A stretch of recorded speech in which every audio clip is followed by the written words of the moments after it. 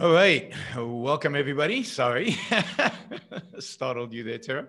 Yeah. Welcome, everybody, to your Ron Brooks show. We've got a, uh, I, I, you know, I'm really looking forward to today's show. You know, I've been talking about politics and politics and politics and politics. And I don't know, whoops, now the light is in the camera. You want to face Okay, it's not good. Okay. No. Sorry.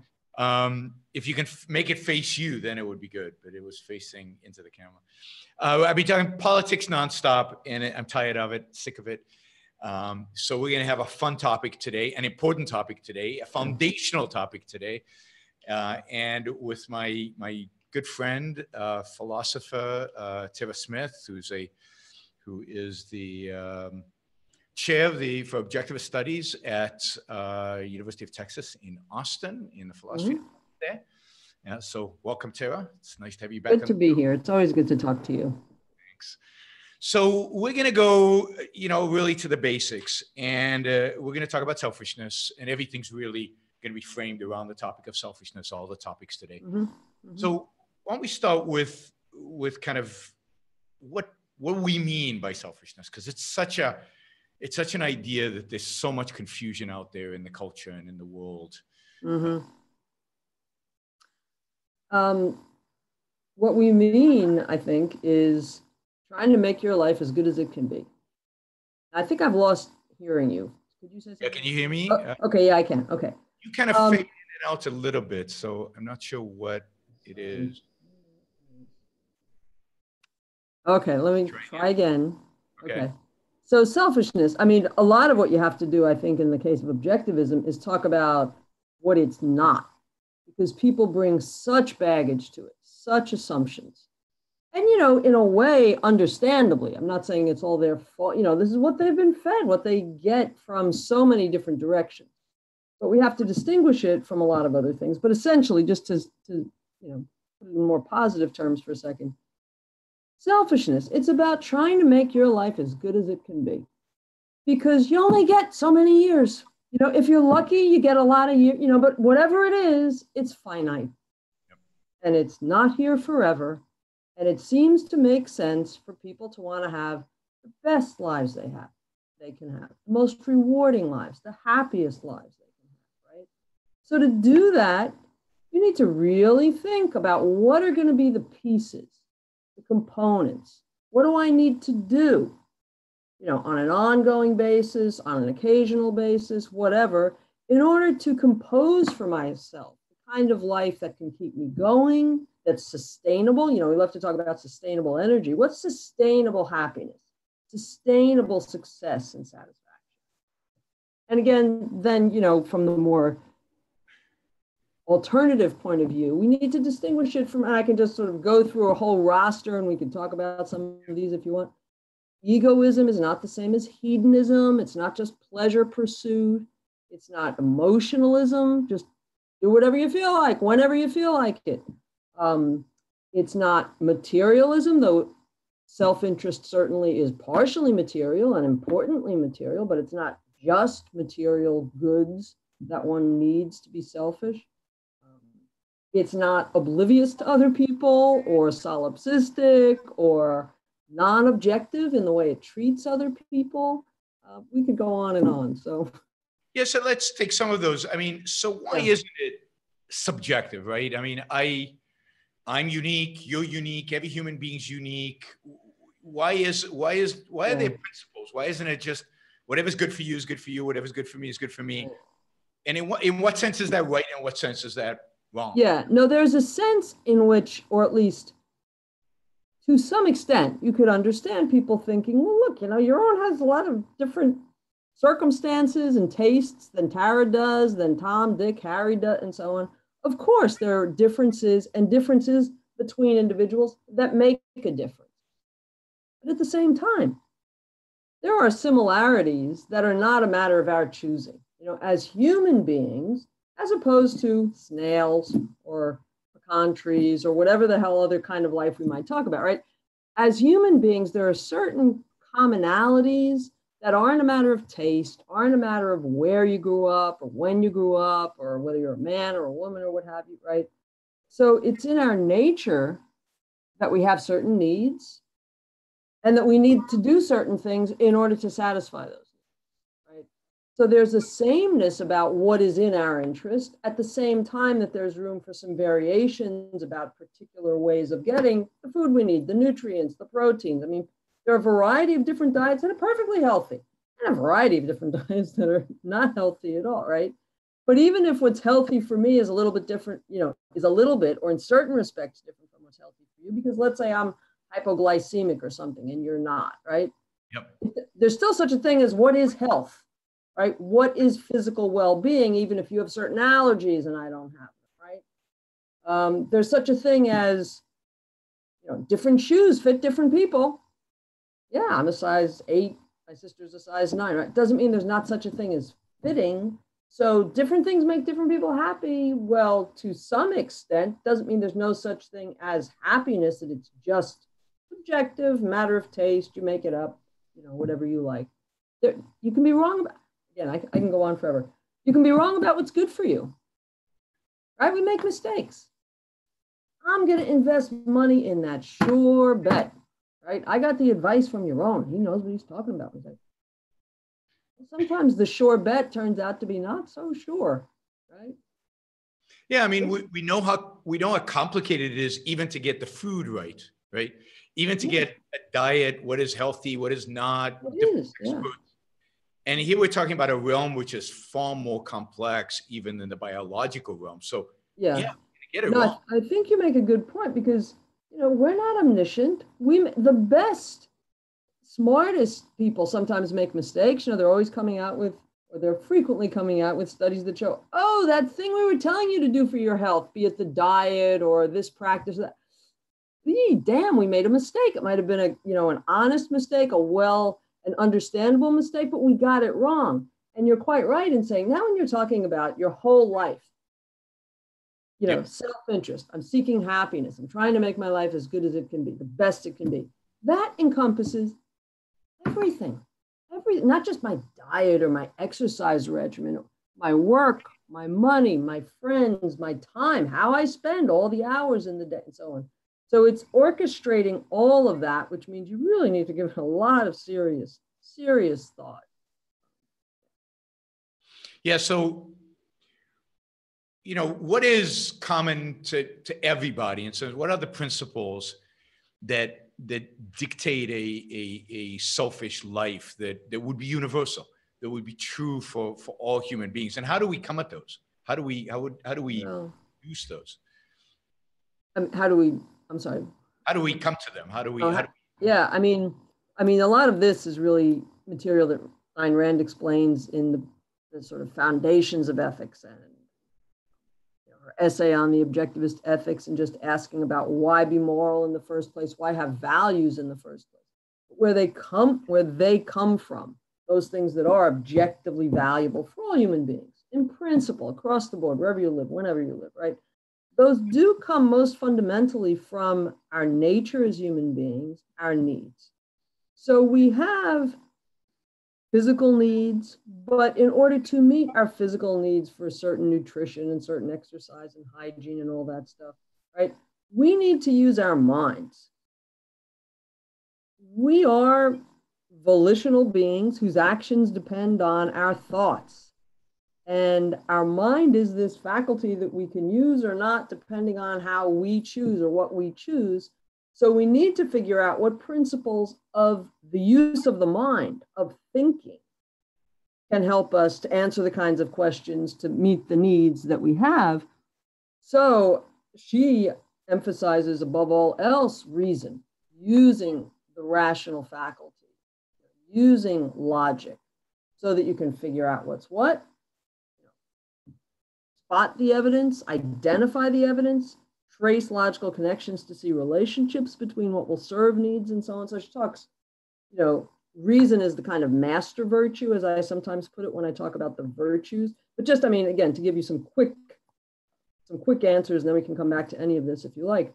You know, the, the fundamental virtues Rand thinks underneath or as aspects of being rational are being honest, being just, being productive, proud, developing the virtue of pride as opposed to modesty or humility, um, independence, integrity. These are chief virtues and major values that are the same in principle for everyone are again reason, purpose, purpose in life, a meaning in life,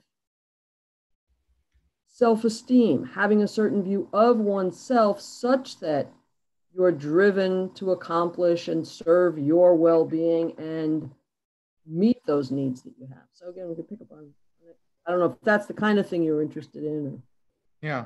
Um, I, have got a, I've got a few questions here that people are, are, are sending in. So, I mean, they're related to the topic. So, you know, I hope so. That smile's a little disarming. Sometimes, even when pursuing rational chosen values, he says, I run into long periods filled with obstacles.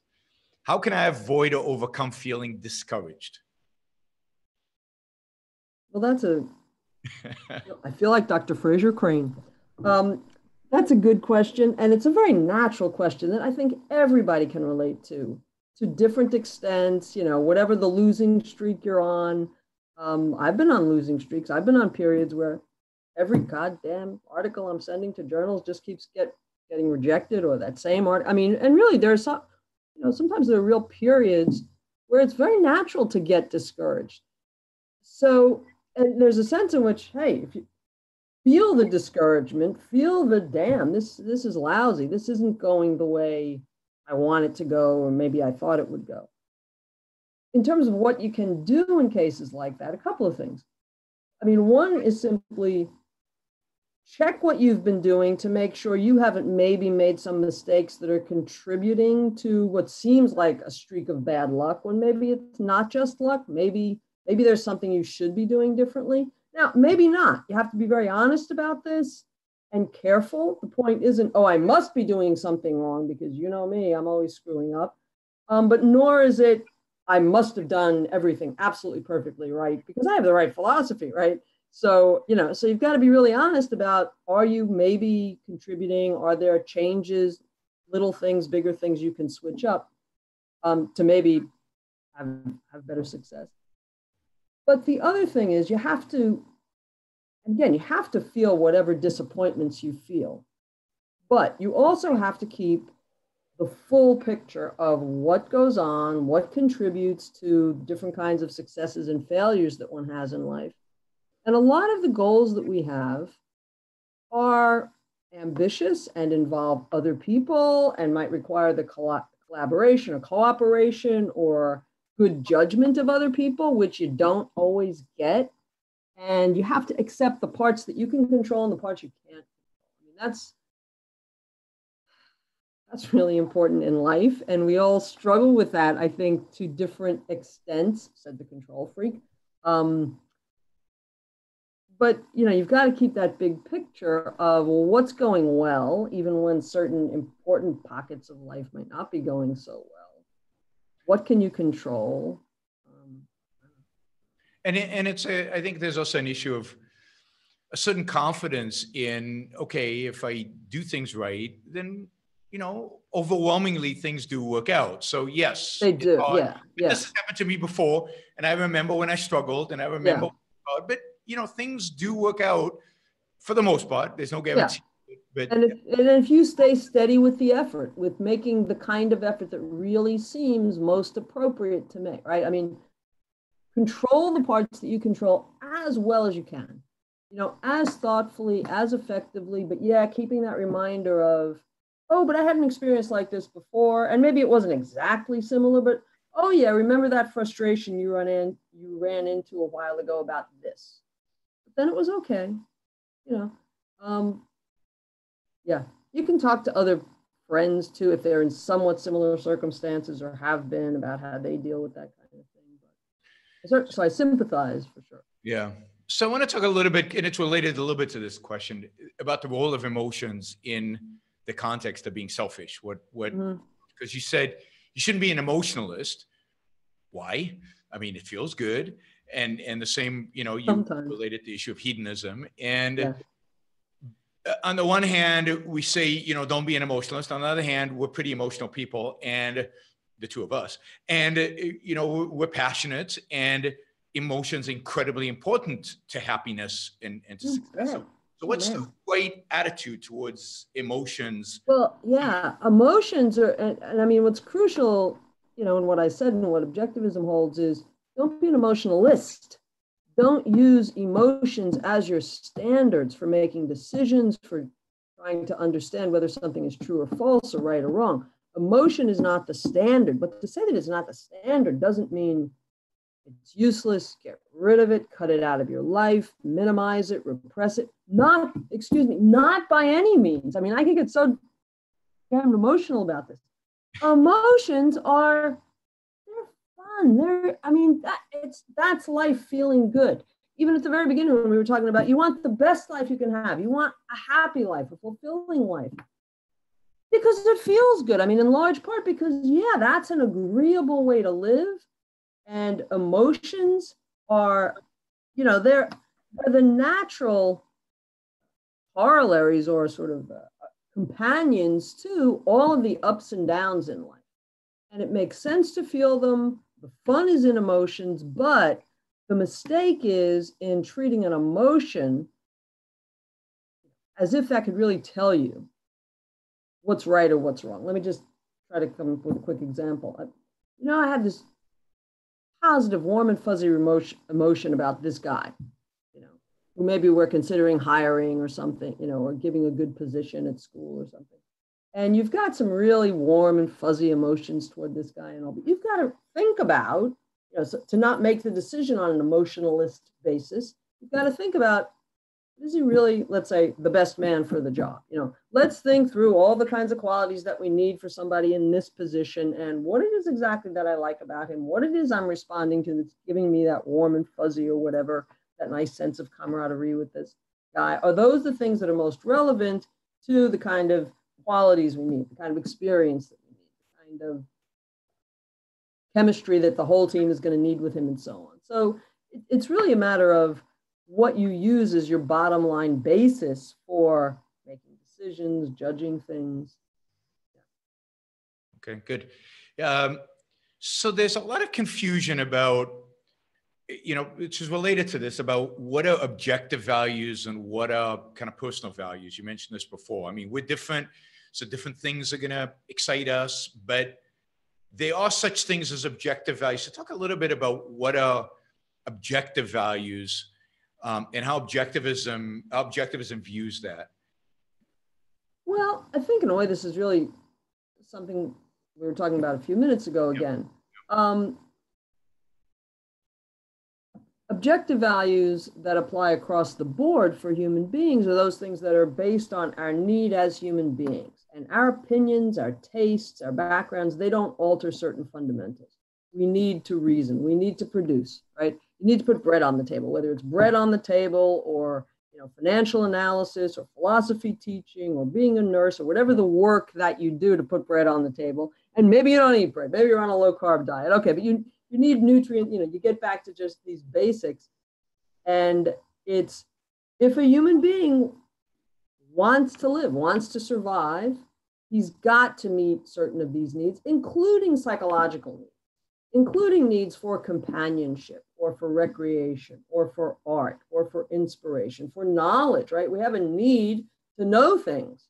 So there are all sorts of objective values that are rooted in our nature. At the same time, I see you've got some artwork up on the wall, and we don't all have the same tastes in art. But there's a need, I mean, it's somewhat a tricky example. I think it's universal, even though. Might... Yeah, exactly. The need for art is universal, even though some people like this painter and some people like that sculpture or whatever it might be. Um, taste in movies, taste in you know, literature, and so on. Taste in other people. Taste in yep. Yep. Um, why do you think why is it so misunderstood i mean it, it and it, why is the idea of selfishness so misunderstood and it's it's not just in the popular culture, but it seems to be misunderstood among thinkers, among philosophers, among people who kind of yeah. better. I have a few different things I want to say on this because I've been thinking about this myself more so just in the last year, year and a half. Because I've been talking about selfishness for a long time. And a lot of the talks that I give uh, not even so much here at UT in my teaching, but in a lot of the talks that I've given abroad in recent years or to other kinds of audiences, I'm often talking either very directly about selfishness or without in any veiled way, you know, other topics like happiness that bring in selfishness. And after a while, you try to understand more of the resistance. So I, I mean, a few thoughts, and I'd really be interested in what you have to say too on these, Yaron. Um, okay, the one might be the most obvious. When you, you know, when you or I say selfishness, that just loads in such awful connotations in, in, in most people's minds, right? They are thinking of the cheater, the scammer, the philanderer, the guy who never keeps his word, who's always looking for a shortcut. I mean, they have some image of one or more of these different you know, be it the Bernie Madoff or the John Edwards, that presidential candidate who cheated on his sick wife, you know, like it's some version of all that.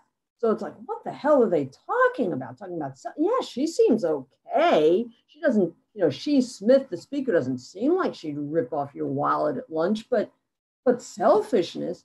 So they have all these associations, and when you attack altruism, you know, when you when you try to talk in principle about the alternative in effect, I think the reaction, at least subconsciously, is off. Well, we're not talking about altruism. I'm not saying I want to be Mother Teresa or a martyr or you know a missionary and give up everything. You know, you just want to be a normal, balanced person, right? So I think the reaction comes from a resistance to seeing the alternatives in principle terms, in stark terms, because people are pragmatic as thinkers. I mean, they've been trained, they've been educated to be very piecemeal, very patchwork. You know, they find a bug, they they throw up a patch, right? A little of this, a little of that. Of course, you got to be selfish sometimes. Oh, sure, of course, right? But not too much or in moderation. Um, so they have a very unprincipled perspective to begin with. They feel like they've seen selfish people and it's nasty, or perhaps they've been victimized by selfish people. in a related vein, I think we have such a crude vocabulary that we use when we denounce certain behavior or certain people. We just throw it all under under the bus of it's selfish. Yep. So often, when you really look at what the allegedly selfish person did, you know, the idea that it's really in his self-interest, or even could have been thoughtfully conceived or expected to have been in his interest, resolves under like a few minutes of analysis, right? It's like it's not well, I mean, really treating other people like garbage, that's really, that's helping you. I'm not just talking about, oh, you'll get a bad reputation, which people love to say, or something like that. Really, you don't benefit from other people. You don't benefit, you don't enjoy and actually get something else out of certain different kinds of friendships and good relationships that you could have, or not even friendships, just, you know, sort of the strangers that you meet or the, you know, the people that you come into, you know, contact with baristas, whatever it might be. I mean, so at any rate, my thought there was we throw under, you know, oh, it's selfish. No, it might be inconsiderate behavior. It might be an inappropriate elevating of your preferences over those of others, which sometimes that's inappropriate. And if you're doing that, that's not selfish, that's inconsiderate, that's being non objective, right? So our vocabulary is really crude here, too. But I've got a couple of other somewhat different thoughts about the resistance. I think it's really threatening to people when you preach selfishness. Yeah. Because they're invested in selflessness, right? That's what they've heard. And the part of them that wants to be a good person, and a lot of people, I think, you know, a lot of people they basically they want to be a good person you know whatever their idea of what it is to be a good person they want to be a good person right and it's been drilled into them maybe by mommy and daddy you know whatever the upbringing but by the culture at large that oh yeah you know, the people who get the awards they're the selfless people or the put others first or the serve others right service you above me and now you're saying it's good to be selfish. You're threatening their conceptions of themselves. You're threatening every, this is how we, they raise their children, right? Yep. And then there's some part of a lot of people that realizes, well, of course, yeah. I mean, even these professed selfless people, the people who would at least say it's an ideal, if you, even if they think they don't live up to it themselves, right? Some part of them knows they can't be selfless on a consistent basis, right? They know they've got to cheat, but at least they feel guilty about it. Yep. And that's kind of like, it's almost like that helps them get away with it. But I have that, you know, I could pat myself on the back because I feel guilty. But now that woman, that Smith, she's saying that Ayn Rand, they want to take my guilt away too. This is really threatening. All right. And then the other thing is a line, I forget who said this, but it's a famous line, which I just happened to come across again a few days ago, but it, I think it's true very often. Well, yeah, it is true. You can't reason people out of something that they weren't reasoned into in the first place. Oh, that's interesting. Yeah, isn't yeah. that good? Somebody yeah. famous said that. I have to look it up. and it's like, you know, if you don't believe in altruism or selflessness, because oh yeah, didn't you see? Didn't you get that argument? Didn't you? Did you miss class that day? You know, this is really the reason. Yeah. It's an article of faith. It's yeah. so much an article of what we're supposed to think. Everybody else thinks. Oh, everybody thinks. How could you not think that, right? So it's really hard to reason out or to fully engage the reason of people who believe something on the basis. What do you think about the idea that it's threatening to them in another respect, in the sense that it's demanding. Um, you know, being selfish is, oh, you mean, oh my God, I only have one life. That's right. I, I, I better get on with, you know, living. Yeah. And I haven't been. Yeah. And it's going to be hard work. And I'm going to have to, I mean, one of the things that is, is fun about objectivism, but also intimidating about objectivism is it's not just laid out there. There are no 10 commandments. Yeah. There's no there's no here's how you know you go to church on Sundays, you do these things, you do. Right, right. You have to figure stuff out. You have to figure yeah. out, believe what's true, what's not. Suddenly, it's it's it's you. It really depends. Yeah, no, I think I think that is part of what's threatening too. No, I think that's really true. There's a sense in which altruism, or yeah, I mean altruism, just it's this nice default. Everybody else has figured it out. Whatever society thinks, and what's good for society. And you get these answers. Maybe it's from 10 commandments, maybe it's just from conventional wisdom, but you know, what everybody knows about how to serve others, what to do now that you've graduated and you're supposed to give back and all that. Um, yeah, no, it's a it's a big responsibility to really want something, right? To quote one of the novels of. Um, yeah, you've got to figure out what you want to do with your life. It can't be well as long as I'm serving others, or oh well, I'll do this thing that's socially respectable and it seems to serve. Like, no, you've really got to think it through fully and on an ongoing basis. You know, when new questions arise and all, and then you've got to, you know, do it, live it. Um, and it's not always the easiest there, but yeah. And you don't have model. You know, you don't have as many models as you should have so it's like, gee, my mother didn't do that, my father didn't do that, my brother, my sister, you know, mm, but it's and, and it, in a way a lot of what's yeah, you've got to face your life is yours, but this is the only one you get. So and there are no easy outs. There's no it's the genes, it's my environment, it's other people. I mean, it, it involves taking responsibility in the deepest sense possible for your own life and your own happiness. Yeah, yeah. No, and yeah, you know, one of the, the virtues that Ayn Rand talks about is independence. And I think that's closely related to what we often think of when we talk about being responsible. But there too, you know, so often when we, t- we, we praise a person for being responsible, we mean is he's responsible to others. Yep. You know, if he gives you his word, he shows up or he does it. I mean, at least that's a lot of what people often mean. And that's a very good thing. But equally important, more important, is taking responsibility for your happiness, for figuring it out, and then for you know trying to take the kinds of actions to, really make your life as good as it can. Be. Why do you think? I mean, I think all that makes sense for you know 99% of the people. What is going on with intellectuals who should know better, philosophers who who supposedly calmly think about these issues and, and supposed to be objective about them. Why is it so hard for them? I don't know. you wish you knew. yeah. No, I mean, I don't I don't think there's some different answer from from the ones I've just you know, given on these other things. I think there's just a lot of um, groupthink, yeah. conventional wisdom, or conventional academic wisdom.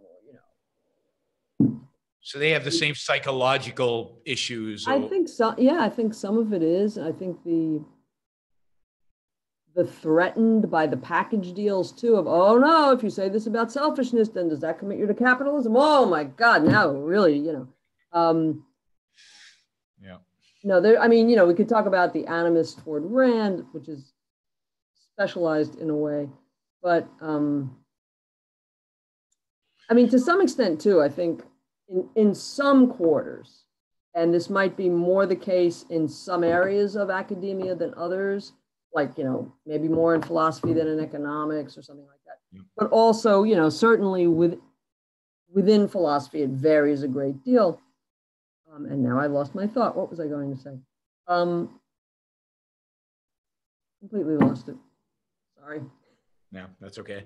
Um, so why so let's go back to we talked about emotions but let's go back to some of the kind of objections so somebody's asking you know, he gets a murder, assault is evil, and egoism because it's destructive to the salter. But I'm how sorry, to, it's oh to the assaulter. To the yeah, assaulter. And, and the same with cheating, and you know, I hear this all the time about lying, and and you know, it's so often it seems in my self-interest to lie or to you know sometimes it's a little thing or to cheat or why can't i have that money um, why would that hurt me? In what way would it hurt me? So, mm, yeah, mm. what are some of these vices really vices? What is it about them that really hurts? Well, they, they don't, okay. Um, the vices don't work in principle because they're not fundamentally serving your genuine well being, right? They might satisfy a momentary appetite desire, right? So it's sort of like a version of the emotionalism that we talked about earlier, right? Well, I want it and I can get it and I can get away with it. What more is there to consider? Well, the fact that the lifespan of a human being, you know, is usually X years, you know, this many decades and so on. And there are certain kinds of actions that are conducive to meeting the needs that, that you have on an ongoing basis.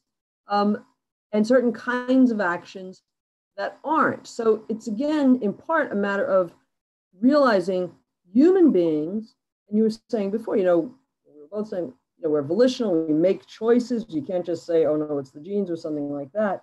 So we need we need to figure out the level at which to think about things such that we can make the kinds of individual cases on a day-to-day, hour-to-hour basis that, that are sustainable, that are sustainable means of fulfilling our various needs. So, yeah, you can lie or cheat in a given case and get away with it, but it doesn't mean that that's a policy, either the policy of being dishonest or do whatever you feel like it that's sustainable. Right? I mean, one example I used to give years ago was once in a while you can cross a busy city street without looking and get away with it. You can get to the other side. It doesn't mean, oh, I don't need to look at the, you know, I don't need to look for, for cars or trucks or anything like that. I mean, that's ridiculous, right? So the fact that you can get away with it doesn't mean that faking things is a good policy.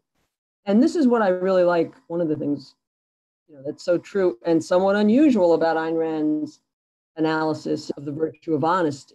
She doesn't defend it because it'll help your relations with other people. Like, oh, they'll like you, they'll reciprocate, you can have trust, and so on. Even though some of that is true and important and valuable, right?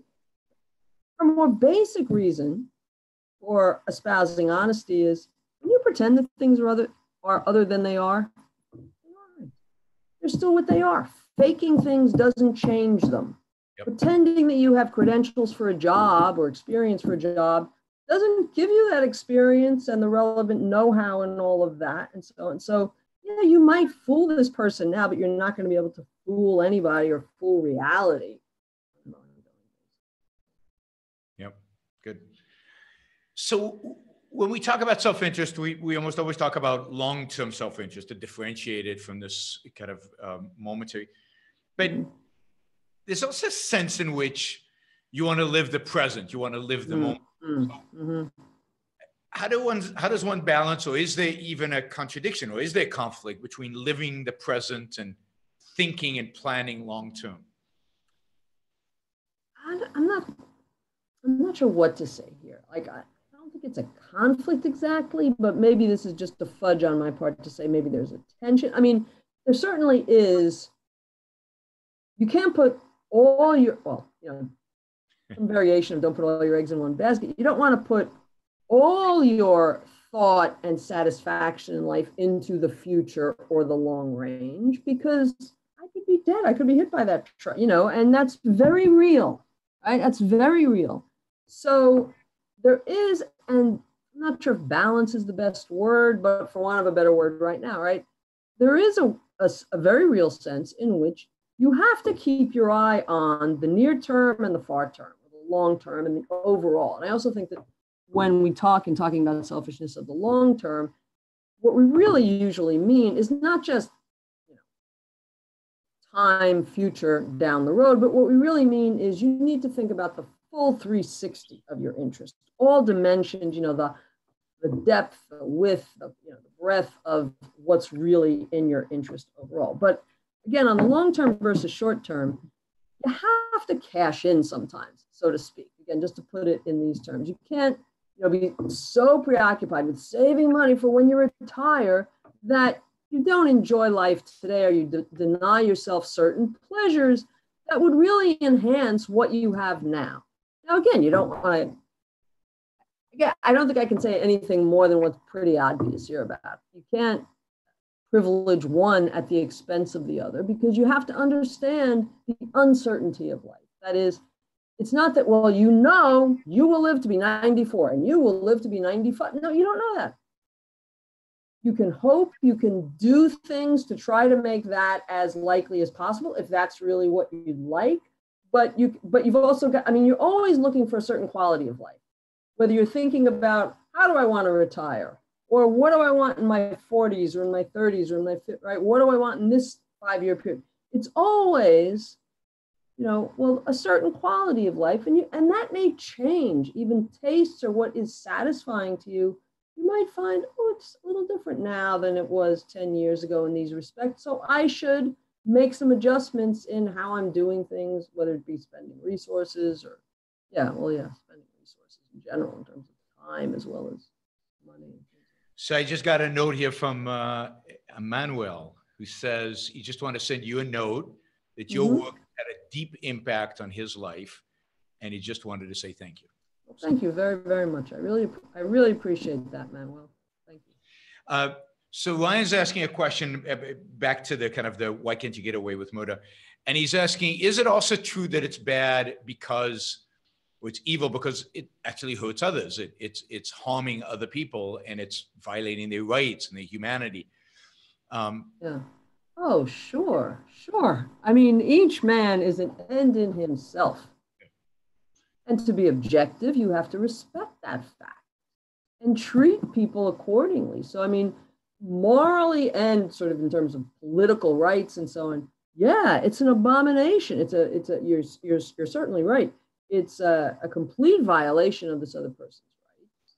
it's a complete violation and denial of this other person's humanity and that his life is his every much every bit as much as mine is mine so yeah and it's bad for you as well but i mean even when we're not talking about murdering a person you know just lying or cheating a person you're like oh no i'm going to deliberately take some of his money no that's his and i mean you know principles of what's mine and thine these are again at the core of objectivist uh, morality, these social principles of rights and so on. Yeah, and and and, and you're rejecting the the basis by which you are moral, You're rejecting the universality of the principles. Yeah, yeah, right. This kind of pick and choose, or if I can get away, it's like no, no. The idea of these principles is they apply for everyone, you know, to everyone, and in our interactions with everyone. And in a way, too, this reminds me of the virtue of justice, which is a really big virtue in objectivism. And people often think, uh, you know, you got to be just, but man, if you could get away with it, it'd really be in your interest to be unjust, you know, to not treat people as they deserve. And here again, Ayn Rand's insight is no, it's really in your interest to be just, to treat other people as they deserve. Because just as we were talking about about like i mean there's a kind of parallel with honesty. A few minutes ago i was saying look faking things doesn't change them. The same applies when you're assessing other people other human beings right? I can fake his character. I can pretend that he's better than he is but it doesn't make him any better than he is or similarly i can pretend that somebody's worse than he is that doesn't make him worse than so you know there's at any rate bringing this back to the kind of question that was just asked um, justice is a matter of, you know, judging people objectively, treating them as they deserve. There's no reason why this person deserves to be shortchanged by you in, in any of the kind of ways.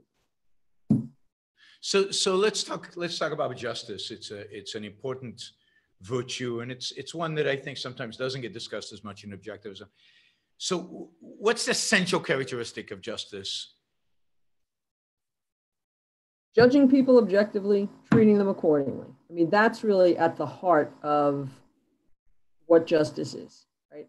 And in a sense, I mean, justice is one of those virtues that everybody loves, in theory at least, right? But I mean, all sorts of different religious traditions, secular traditions, East, West, around the world, age old, they've all espoused some version of justice, and largely ones that talk about this idea of desert, right? Um, to be just, you have to, uh, you know, it's important to get all the elements of it here. It involves judging people. Now we can come back to that because that's not fashionable to judge people, right? But it involves judging, evaluating. Judging objectively, Ayn Rand emphasizes, right? Not hastily or sloppily or casually or um, prematurely or anything. It's like, no, you have to judge objectively. You have to be damn careful to get all the evidence and get all the facts and suspend judgment when you don't have them, right? But you hmm. have to judge objectively and then you have to act accordingly, right? You go, oh, well, I judge you such and such, but who cares about that? No, thoughts are for action to inform our actions. If I realize on an objective evaluation of you, you're not trustworthy, then it would be idiotic for me to continue to deal with you as if you were. You know, and you can think of all sorts of variations of that, but that's the essence of it. Now we can elaborate in different directions, and exactly what I'm judging about a person will depend on the circumstances. Am I judging him as a a tutor in some subject that I'm not doing too well in? Am I judging him as a financial analyst, as a potential pediatrician, or what? You know, pay attention to different kinds of things depending on the role. Sure. So, so, so why is this? why is it why we live in a culture where judging is looked down upon. It, it, it's it's it's not popular. You're not supposed to judge. I don't know. I mean i think there's some you know i think there's some emotionalism involved or wishful thinking or well i don't want to be judged. I mean there's a certain kind of well if we don't judge each other and if we tell each other we're not supposed to judge then I don't have to judge myself or be as good as I should be, right? It's like, no, you should make your person yourself the best goddamn person you can be. You, you should have nothing to be afraid of being judged about, right? And it's not about how other people see you, right? But if you live your life honestly and objectively and so on, you have, you have nothing to worry about, whatever other people think of you, right?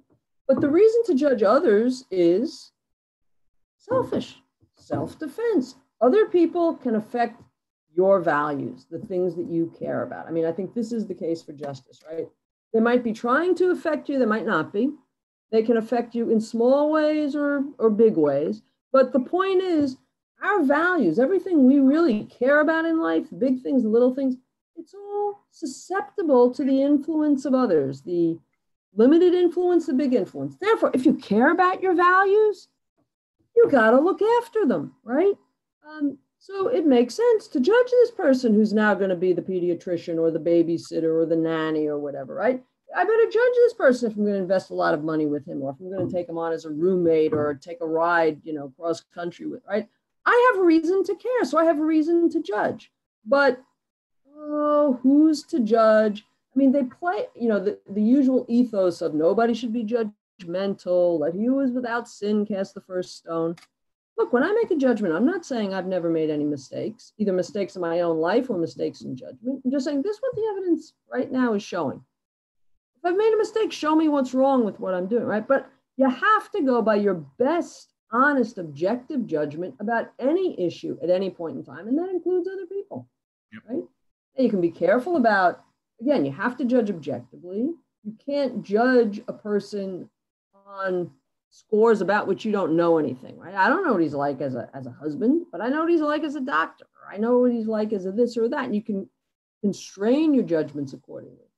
But here again, you know, you say judge, and people load in all these connotations of, oh, you're a dogmatist, or oh, you think you're infallible and you never make a mistake, or blah, blah, blah. You know. But it's this ethos of egalitarianism. Oh, aren't we all really the same? No, and everybody knows that. You know, why do you go to that restaurant? Because they serve good food or clean food, whatever the hell it might be, right? Oh my God, you're going to get me going again in emotion. Yeah, no, good, go for it. And and it's oh. it's related to altruism, right? It has to be in some way related to not being selfish. Not yeah, don't pursue your. Don't be careful about your values. Just give it all up.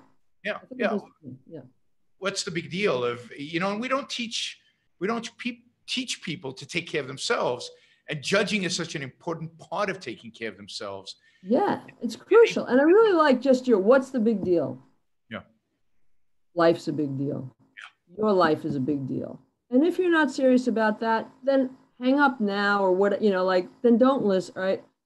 I mean, part of, and this maybe even goes back to conversation a little earlier and about academics, take ideas seriously if you take ideas seriously, if you take your life seriously, you'll take ideas seriously and you'll take big ideas seriously and you'll be honest about it. Yeah. Which includes periods or pockets in which it's like, oh my God, I'm really confused right now. Yeah. Right. But if you take, and again, I think this might even trigger what I had forgotten a while ago that, you know, there are some in certain spheres of academia for whom ideas are a game.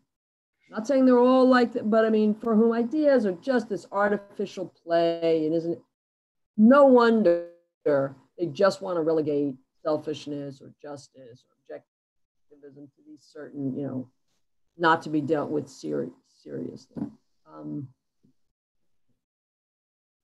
yeah, I mean, I, you said it earlier. I think a big part of this is to judge other people requires you to judge yourself. And it, it, goes back to that personal responsibility. It goes back to taking responsibility over your life and judging yourself. And i think people are afraid of that.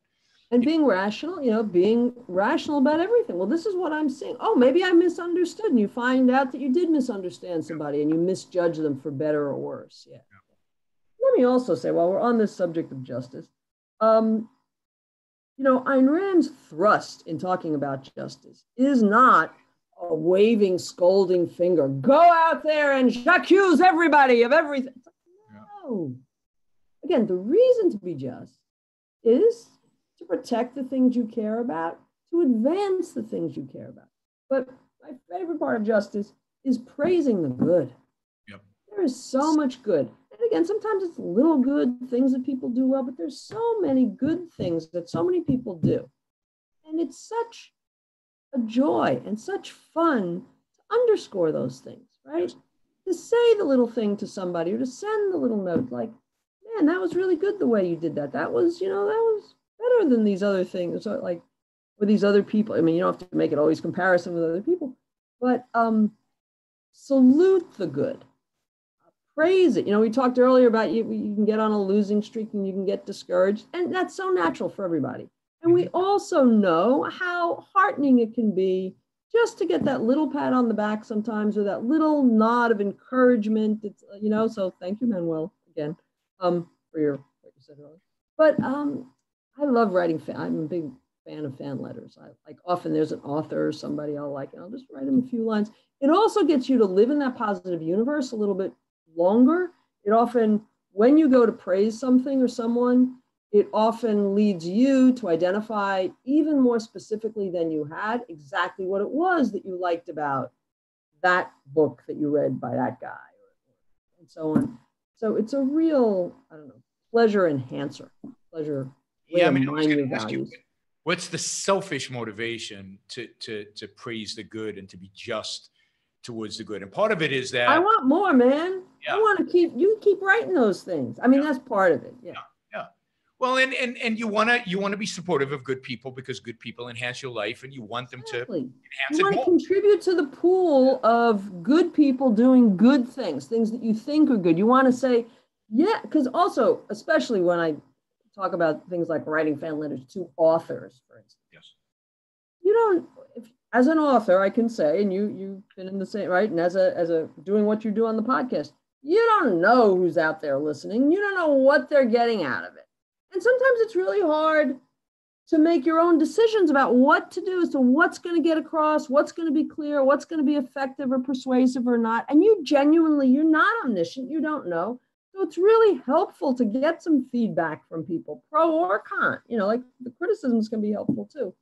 But um, so we all know that feedback can be helpful, again, not just spiritually in terms of inspirationally, but helping us think, yeah, this is on the right course. Maybe this wasn't so much on the right course. And, but right, what you want selfishly is to be contributing to this pool of good people creating good stuff from which we all. and and yeah, and as, as somebody who you know podcasts and things like that, you get a lot of the negative, right? So so the criticisms because people are very quick to do that. They're very quick, particularly objectivists. They're very quick to tell you when you're wrong. They're very quick to tell you when you make a mistake or when they think Mhm. you mistake, Mm-hmm. and they're very quick to write you off. So it's it's it's actually there's a there's a lack of there seems to be a lack of balance in terms of the a lack of the positive trait, unfortunately, within kind of the objectivist community. It's Yeah.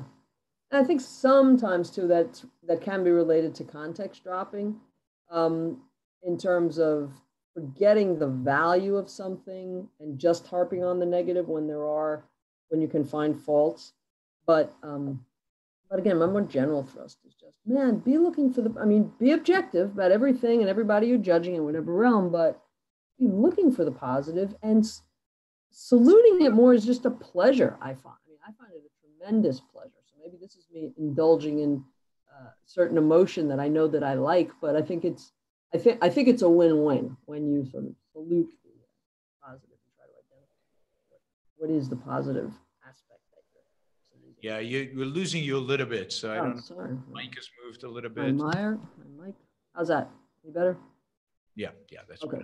Good. Um, so yeah, I mean, I think people associate justice too much with criminal justice or the legal system, and not enough with this idea of, of positive reinforcement and, and positive values and recognizing the Mhm. positive. Uh, and at the end of the day, for the most part in life, you get more from the people who, who are creating positive values than you have to than you you than than the people who are bad are, are you know are, are threat Oh, for the most, for sure. I mean, apart from the very, the exceedingly rare, egregious cases of Yeah.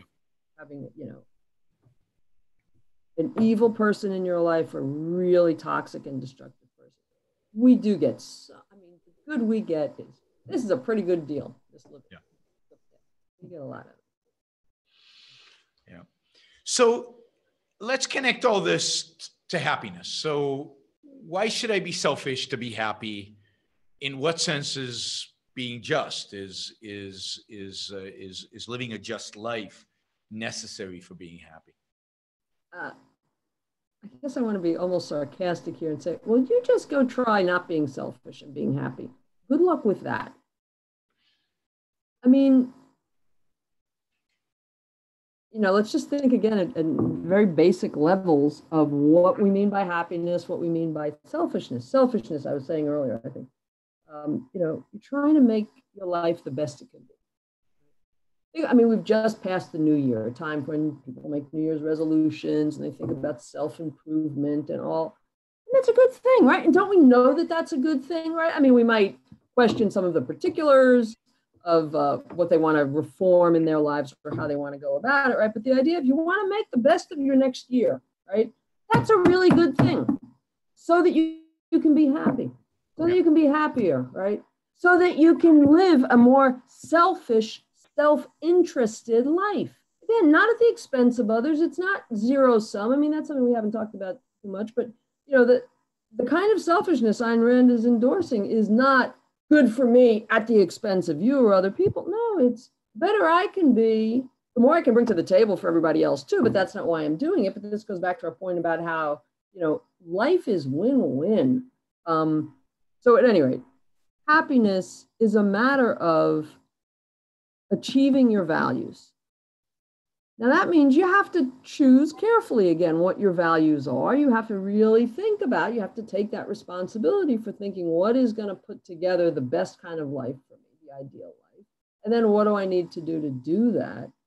But Rand spoke of happiness as the state of awareness, the kind of satisfaction that comes from the achievement of your values.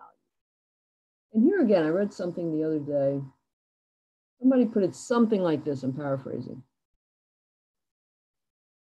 when you're happy, you have what you want, but you've chosen good things to want. Yeah. Right. It's like you know and the two parts are are, are both important. So, um, does that mean that you have to be an objectivist to be happy? That's a good one. Um, yes and no, if I can say that. Um, it's going to be very hard to be happy, fully happy with values, you know, things that you want, things that you seek, things that you treat as good that are antithetical to your nature, to your genuine well-being. Right? There's a limited way in which getting something that you want feels good, even when what you want is not really good. And you can you know you can kind of lie to yourself over time or build up blind defenders of a certain vision of life that makes you think even oh no i'm leading a good life because i'm leading it by these non-objective non-selfish lights or values and so on. But you're not going to be able to without without frustration without inklings of this isn't quite right this right? I mean what we do carries emotional repercussions. And when we're doing things that are not actually in our interest, it's it's going to take a toll. It's going to take a toll on us in all you know in all ways, emotionally, spiritually, psychologically. Um, I mean, think about some of the cases that we all know of people who are unhappy, who have, in many ways, you would look at them and think, "My God, you know, she's okay. She's well off. She's comfortable. You know, she's got this kind of family or that kind of money or income or whatever, and so on. And you can see or know, sometimes they themselves are even quite aware of, but I'm not happy, you know, but I'm not satisfied, or this isn't giving me what I think it should.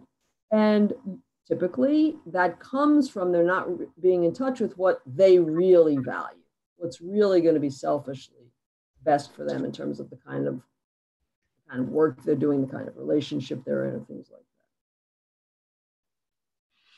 Yeah, I mean, I think I think people are going to be happy to the extent that they are rational, to the extent that they are selfish, um, and and people even who don't accept the morality of selfishness often behave in selfish ways because and they well, they, they have to cheat on their yeah i mean you can't be you certainly you certainly can be a perfect altruist and perfectly happy.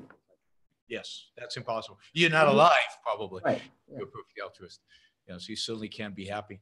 Um, and I mean, you have to be honest about what's really going on for you psychologically. You know, you have to pay attention to all the evidence that you're getting of what's working, what's not. And oh yeah, wasn't I a good boy? Pat myself on the on the back. I did the the right thing by all the societal conventional standards, by all the things that I've absorbed as the right standards.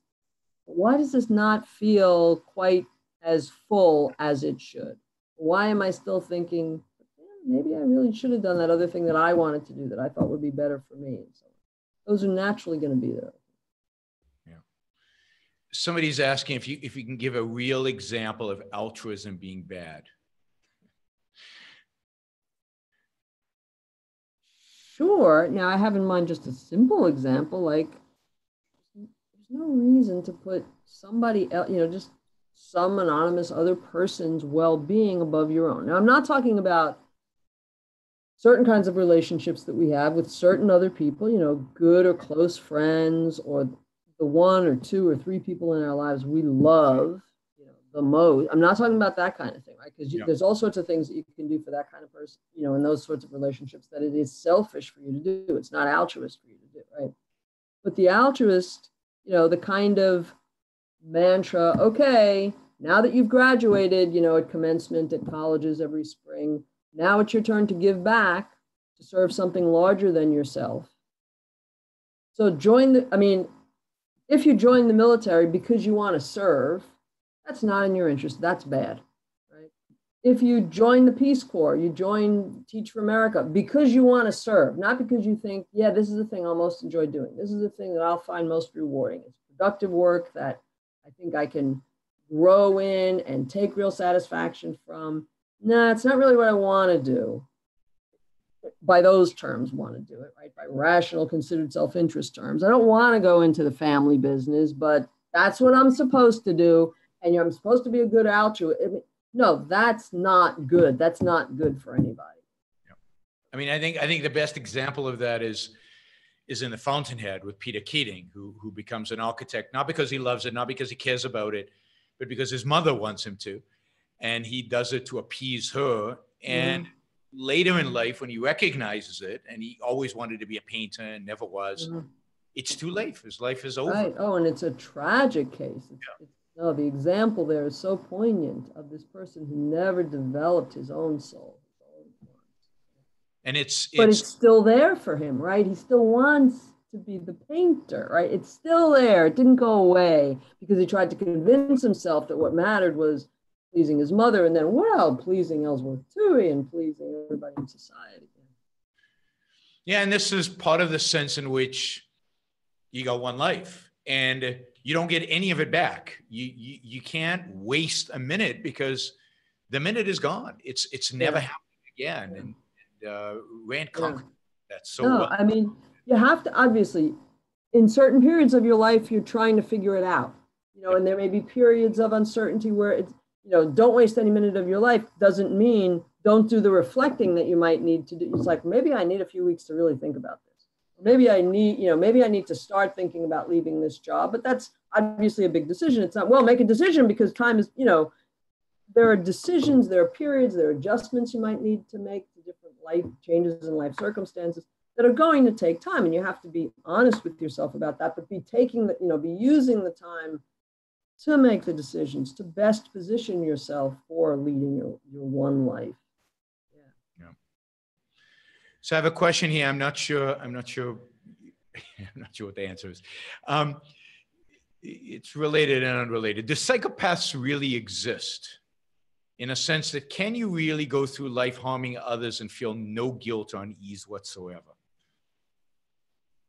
I guess so, but I'm not an expert on that. Yeah, I mean that's. I mean, I, yeah, I mean, I think I, I think that there are such truly warped, and I mean here now, like literally physiologically warped human beings. You know, physio- physiologically, there's something gone haywire, such that I think that that can be a real phenomenon. But I'm not an expert on that, so I'm sorry, person. And and it doesn't matter because even if they are, you you don't you don't you don't come up with a morality. Oh no, they're the. I mean, to say outliers, right? I mean, they're not. It's like yeah, there there are freak cases in any species, right? But you don't figure out what's best what's healthy for the, for the species, right? But on the basis of the well, yeah.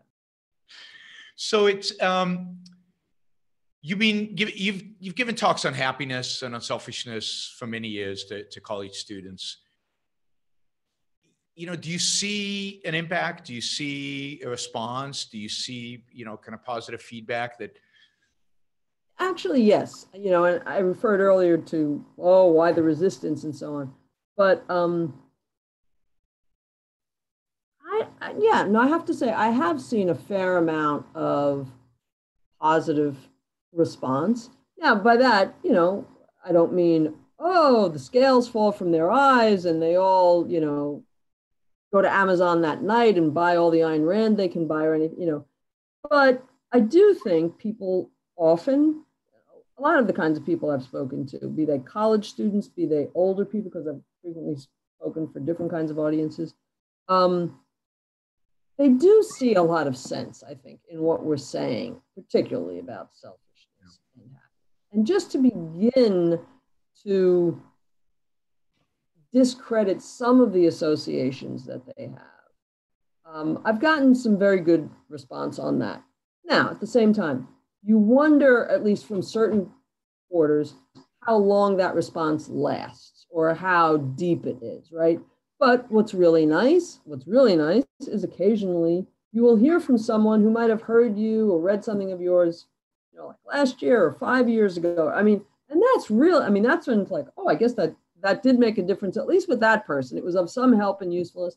And that's that's wonderful. But but again, I think if you're in in in giving talks, if you try to give a lot of examples, you can give people at least pieces that they can, you know, deeply entrenched as we are in our society in these altruist ideas.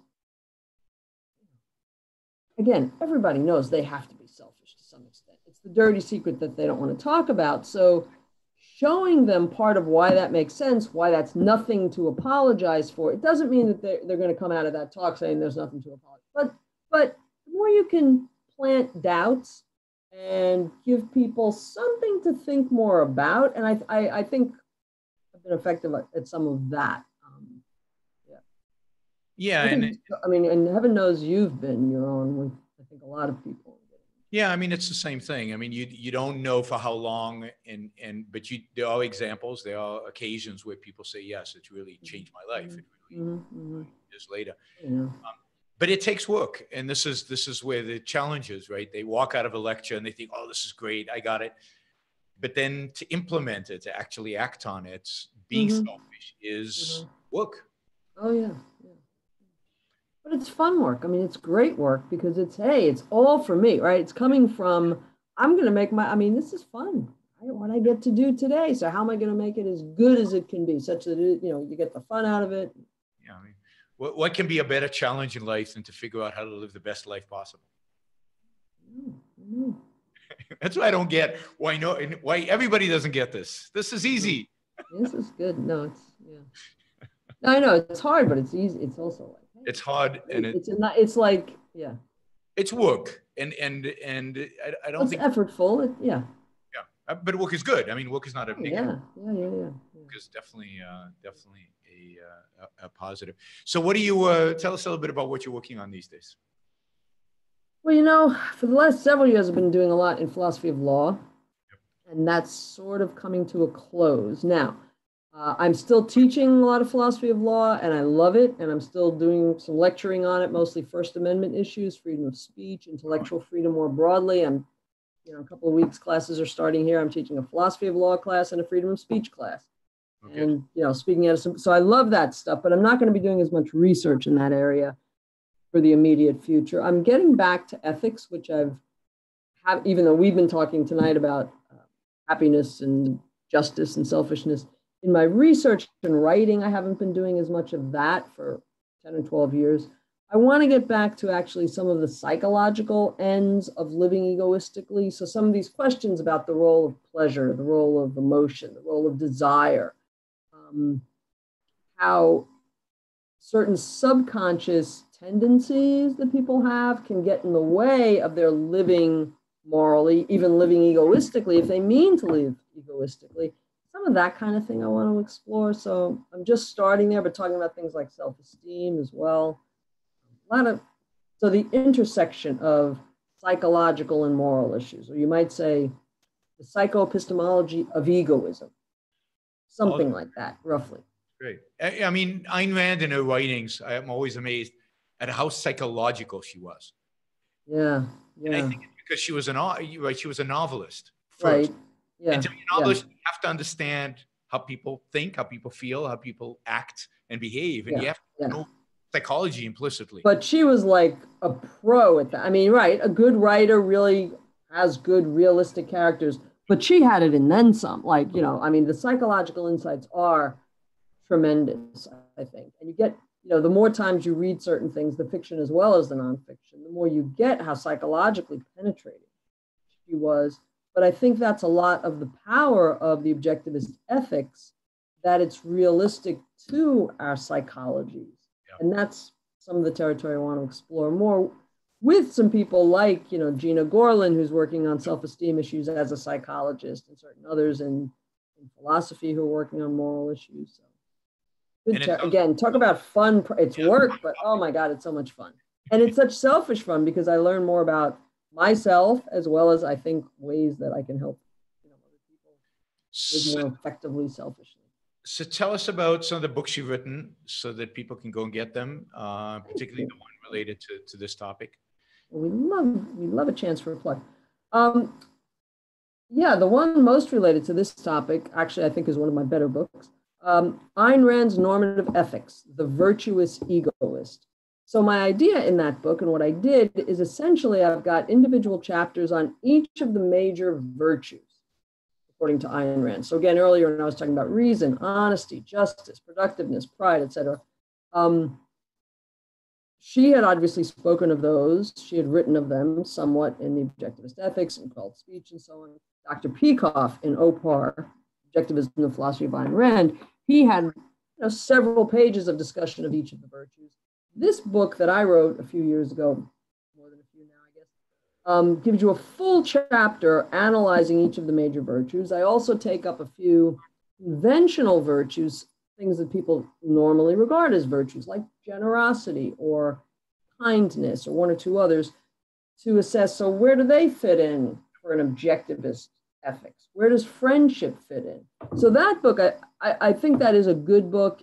I think it's pretty accessible. It's less meaning accessible to a person who's not a philosopher. Um, so again, that's Ayn Rand's Normative Ethics, The Virtuous Egoist. Then I had some, uh, you know, one of my prior books was on the foundations of ethics more. So the kinds of questions of well, how do you get objective value?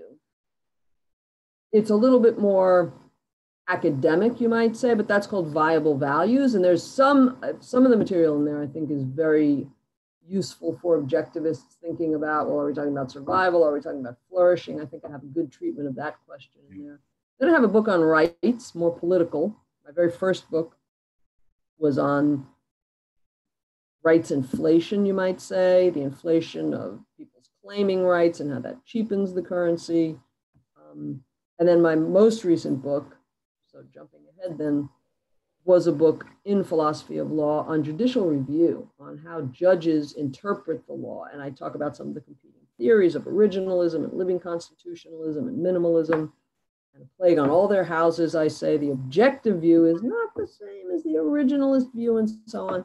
So if you're inclined toward that sort of uh, issue, it's it's it's funny how in the world out there in conventional thinking there always seems to be always two alternatives to think you know and and and objectivism is is somehow in a in a in a third dimension it's a it's yeah. a you've got the you know the the subjectivist intrinsicist you've got but but also when you talked about egoism there was the the uh, you either uh, an sob or you're an altruist and right conceive of this third right. alternative. And Ayn Rand, a lot of what she does is conceive of third alternatives that are new ways that are actually which is the actual. Yeah, yeah. No, and I, th- I'm in terms of twos. Yeah. And think of this third. Yeah, but I'm glad you brought it back to the selfishness discussion because again, right? It's like they don't see the alternative in principle terms, so they don't see it as well. We're not altruists. No, we're middle of the roaders. We're patchwork and so on. But no, Rand saying there's a fourth alt. It's not, well, you can either be Mother Teresa and a martyr or Peter Singer, right? This complete sacrificer, or a complete bastard, you know, just a selfish SOB, right? Or you can be the middle of the roader. You can be a principled yep. egoist. You can be a rational, thoughtful egoist. Being considerate of other people is not antithetical to being an egoist. But what we need is that fundamental level of thought that'll bring us to the principles that are sustainable such that we can really achieve mutually compatible self-interests and happiness. Well, this has been great. I'm, I'm actually really looking forward to your to the new work you're doing on uh, for selfish reasons. I, I, Yeah, good, good. want I want to know more about the intersection between uh, morality and, and psychology. I think it's Yeah, me too. So it's going to take me a while because it is a, it's a, because I mean this is a young philosophy and there's still a lot we have to learn and a lot Ayn Rand didn't write about that, that Right. in terms of the technology of living, actually figuring out how to live and how to do a how to live a good life. Uh, so but she gave us so many, I mean, man, the fundamentals that she laid down. It's like, wow, that for your bed. Oh boy. I mean each essay Now it's like I'm jumping on the bed like a little kid jumping on the mattress. This is such fun. yeah it's uh it's it's amazing so those of you who have not read Ayn Rand go read Ayn Rand those of you who have read Ayn Rand go read Tara Smith and um thanks thanks for being on the show Thanks a lot for having me. This was fun. Absolutely Talk to you Thanks. bye Tara Good night.